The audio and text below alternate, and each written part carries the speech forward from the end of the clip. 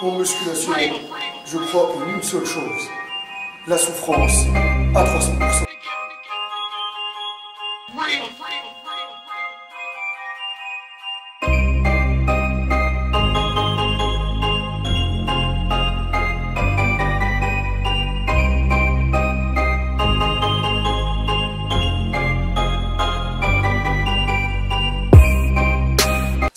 Tous les Spartiates et bienvenue au Spartiate Gym, une salle où il n'y a que la souffrance qui paye.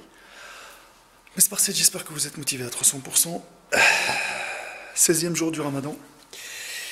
Hier, j'ai fait le bilan des 15 jours avec mon compagnon Mango. Oh, lui, il est occupé. Vous le voyez, Mango. Voilà, il vous a dit bonjour. Donc euh, les Spartiates, euh, le bilan il est pas, il est pas, il est pas énorme, car euh, j'ai perdu 2 kilos. Bon ça va, hein. 15 jours j'ai perdu 2 kilos, ça va parce que je vous dis niveau récup c'est la merde totale. La nuit, j'essaye de récupérer, de dormir une heure, deux heures et de remanger. La digestion c'est pas facile, le bide se remplit trop vite. Euh, c'est clair que 17 heures de jeûne, les intestins, les intestins ça se rétrécit. Le temps d'adaptation, il faut du temps d'adaptation. Mais euh, moi je voulais faire cette vidéo là pour vous faire ce bilan, pour vous dire que bon, j'ai perdu 2 kilos, il y a quand même un peu de muscle que j'ai perdu. Bon, je m'en sors à 2 kilos sur tout le corps quand même pour 1m90. Donc euh, j'ai fait le ramadan énormément de fois. Et cette fois-ci je m'en sors pas mal. Parce qu'apparemment le régime alimentaire que j'ai fait, il est plus que correct. Mais euh, les autres années, là, oh, j'en ai perdu plus. En 15 jours, j'en ai perdu plus. Ouais, j'en ai perdu même 5-6. Donc, euh, j'ai commencé à 91 kg, 200. Et ben là, on va voir hein, sur la balance. De toute façon, je vous le montre directement. «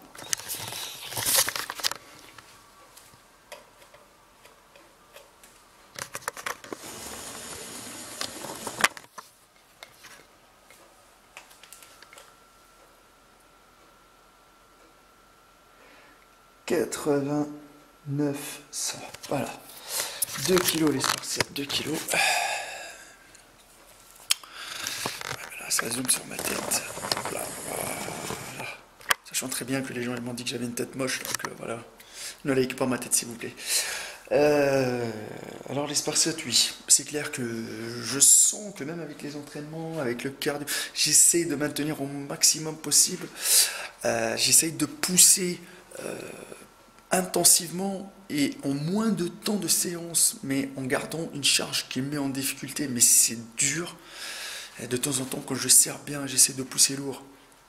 Des fois, j'ai des nausées, mais des fois même j'ai des remontées. J'avais essayé de faire des entraînements barbares au niveau des pecs et au niveau du dos, c'était compliqué. Je le dis encore une fois, donc euh, les gens qui veulent construire de la masse musculaire durant le ramadan, ça va être très compliqué. Je l'ai fait déjà dans d'autres vidéos. Et ma shape, je vous montre ma shape voilà, actuelle, en photo. Euh, à froid, sans congestion, sans rien du tout. Je me sens aplati. Bon, la sangle abdominale commence. Bah, regardez, il y a un avantage et un inconvénient. Le ventre, il est plus plat. La sangle abdominale, on voit les obliques, les abdos, etc. Euh, mais euh, le volume musculaire, j'ai moins de volume musculaire, moins de densité. je suis, je suis plat, tout simplement.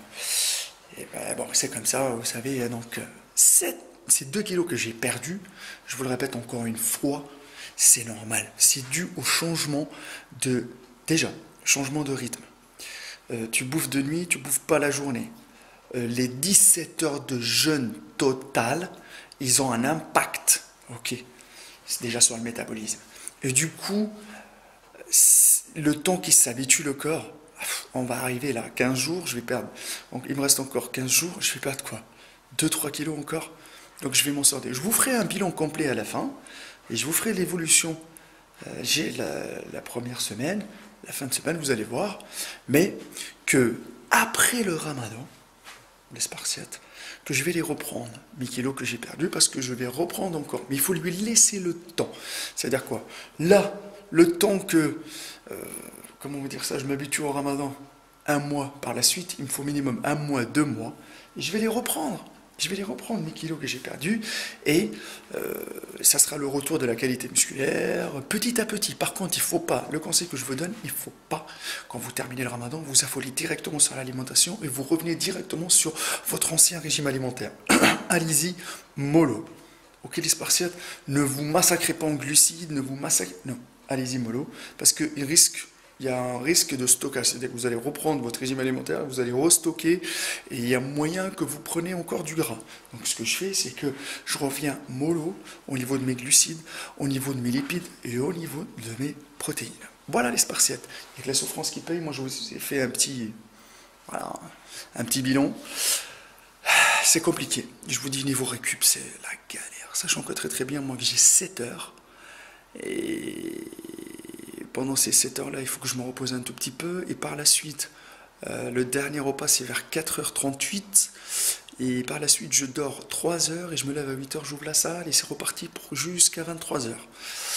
Le rythme, il est compliqué. Donc, heureusement qu'entre midi et 2, bah, puisque je mange pas, donc je vais faire une petite sieste. C'est important pour récupérer. J'essaie de récupérer au max. Mais c'est pour ça aussi, mon corps ne récupère pas. Et du coup, c'est logique qu'il euh, perd de la masse. Voilà, tout simplement. Ne soyez pas dégoûtés, ne soyez pas déprimés, c'est logique. Après le ramadan, vous allez tout reprendre, vous allez tout défoncer.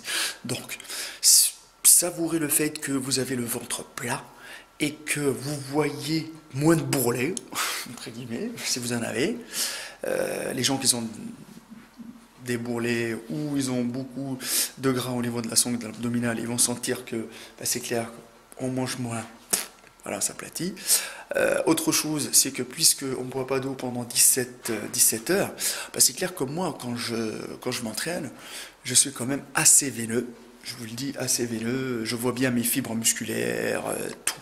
La totale. Bon, ça aussi, ça fait du bien. Ça nous met en confiance. Donc euh, il y a le bon côté, le mauvais côté, mais on a besoin de tout pour faire un monde. Voilà les Spartiates. Donc il n'y a que la souffrance qui paye.